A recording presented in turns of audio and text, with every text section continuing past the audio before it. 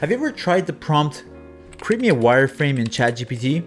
Well, more or less it gives you a breakdown of pages that you might be able to include in your app, especially if you're very specific with what you're looking for.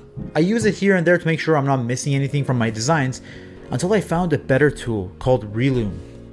Now Relume actually helps you generate uh, the site layout and the sitemap, ensuring that you don't miss any components from your product or your website.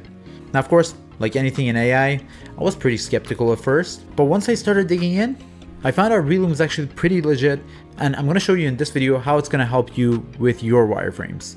Let's jump in. So I'm on relume.io. As you can see, you can get websites designed and build faster with AI. Very cool. Let's see if it actually lives up to that standard. What's really cool about it is that you don't actually even need an account. All you need to do is describe a company in a sentence or two. So Let's imagine we're making a restaurant delivery app and see what it does. A company that helps users order food from restaurants for delivery and pickup. And of course, the more specific you get, I'm guessing the better it's going to help you generate that wireframe. So let's see, just with our free account or just without even logging in, what will this generate for us? Right away, I'll give you a little tour. I'm going to just start building.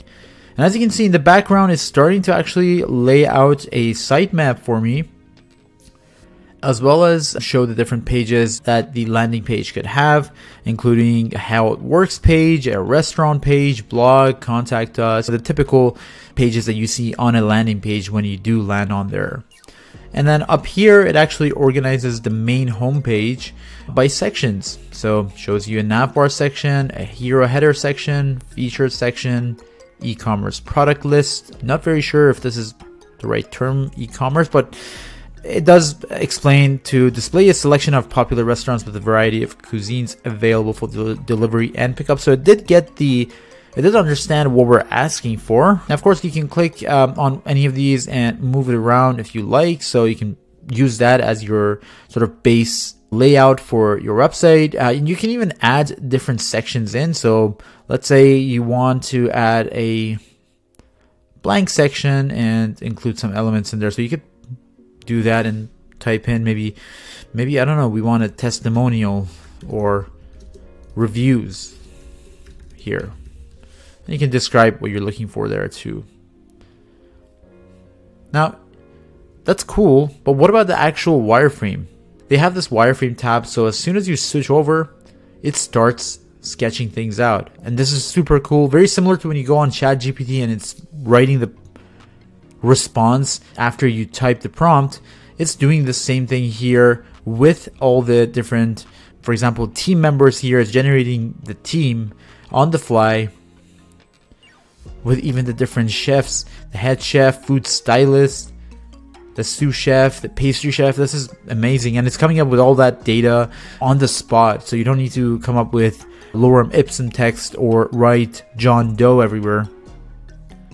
Now, it does have some sections we were even thinking about. It has the reviews. It's awesome. It has newsletter section. It has a contact section. And it came up with a pretty decent wireframe. I'm not to lie. This is pretty much very close to a lot of the landing pages we see, unless it's something like super custom or super creative. But for generally for most websites, this would work, especially as a first version. As a draft, this is amazing. Now, you can click on any of these sections and you can actually change it up. You can reset the copy. So if you don't like the copy, you can just reset it and then type your own in here or you could change this uh, from instead of having buttons to a form so you have to have users or the users have to type in an email. Then if you want copy again you can generate some copy. Again you can remove the background have a video playing as a background. You can replace the component so if you don't like this header there's multiple different types of headers that they have. You can go back and say, you know what, maybe I like a header that's like this, with all the different kind of foods or restaurants or whatnot. So you have a ton of customizations in terms of going to each component or each section and maybe adding the column, removing a column, choosing how the text is aligned, whether you want a slider component or not. So it does give you some options here. And if you want to generate more pages because they have a how it works page that it already generated, I'm assuming from the sitemap here and it has a page for the restaurants. So I'm guessing we see a list of restaurants, restaurant profiles, blog, blog post, contact us, and so on. Now, the only caveat is with a free option or without logging in and, and upgrading your account, you only get access to the first page which could still be nice. Imagine you're working for a freelance client and they want a landing page and you don't know what sections to include. This is a pretty good start and it even lets you see what the tablet and the mobile version looks like. That's awesome. Now, what if we had the paid version? Let's switch over to see what other pages it can generate for us. So let's switch back over here.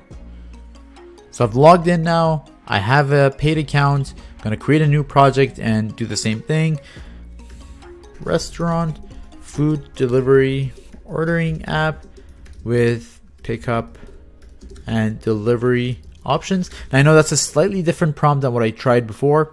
It even allows you to choose the number of pages that you want. So if you want more sophisticated designs, you can choose more pages. Doesn't necessarily mean it's going to be better wireframes, but let's see what it comes up with. So there we go. It generates it has a pretty nice flow. We got more pages now. We got an order online page. We got a how it works, testimonial, a section for delivery, a section for pickup, or I guess different pages. So let's see now the wireframe for this. And there we go, it's starting to generate it right away.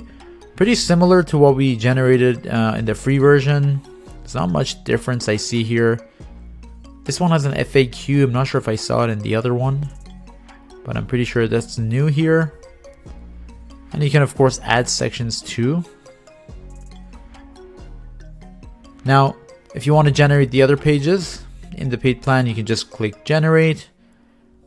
It starts putting the sections and then it starts generating those sections.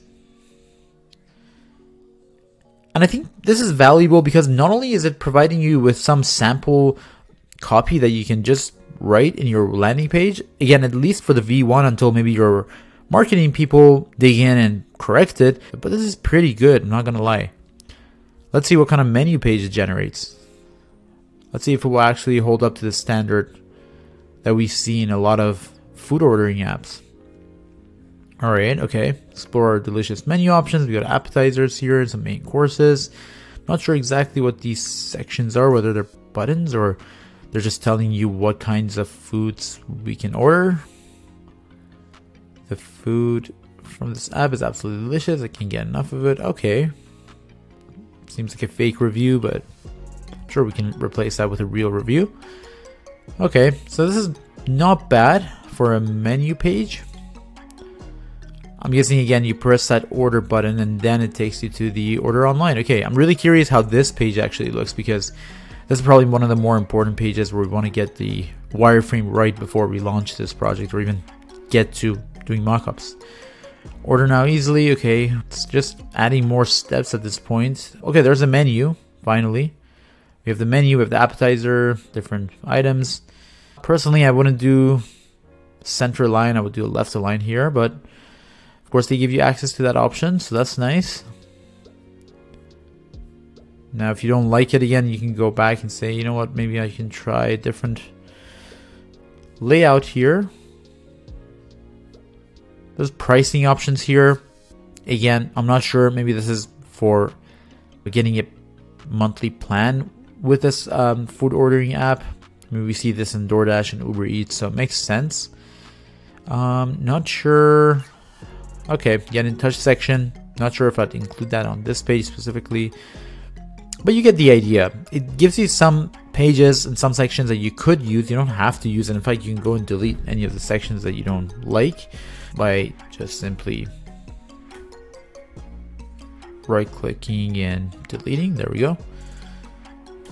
And what's cool is that you can actually copy elements from here for Webflow. So if I click copy, it will tell me use the Chrome extension to actually copy this to paste this into Webflow. For you Webflow folks, I'll let you try it out if you want and let us know if that actually works well.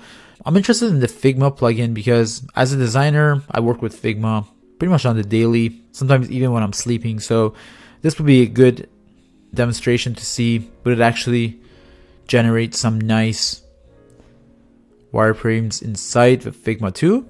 Now they have a file here or a plugin I guess that you can open in Figma. I'm in a Figma file. I just opened it up and I'm going to run Relume. Now I've already logged in so it found my project. That's the one. I can click on it and see I can add the wireframe. Let's add wireframe to canvas and whoa, it already created some text styles in here. And it's just going crazy in the background here, adding all the different screens. It's a little bit intimidating, I'm not gonna lie, because this part I think is still maybe something they're working on because it just puts everything on top of one another. It just doesn't look good at all. What I'm to do is, hopefully this works. There we go. Okay. So now there's a bit of organization at least here.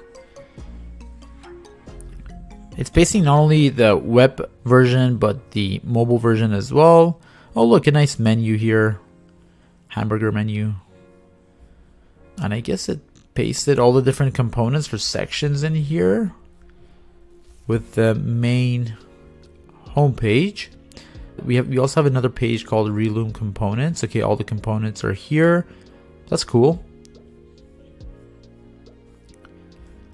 I don't think it pasted our other pages that we just designed. Maybe if you run it again, it will do it. Add sitemap. Okay, that just puts the sitemap that we designed but I'm not sure where the other one went. So definitely it needs some work, it's not perfect, but do give it a try and let me know in the comments if you find anything it generates useful and helpful in your actual design flow. Would love to hear um, stories on how you use Relume to maybe generate the first version of your wireframe. And again, you don't need an account. You can just go on relume.io once you're on Relume.io, you can generate a sitemap or a wireframe or at least one page free of charge. So give that a try, and I hope it helps you in your design journey. With that, thanks for watching this video. Don't forget to like and subscribe, and I'll see you in the next one.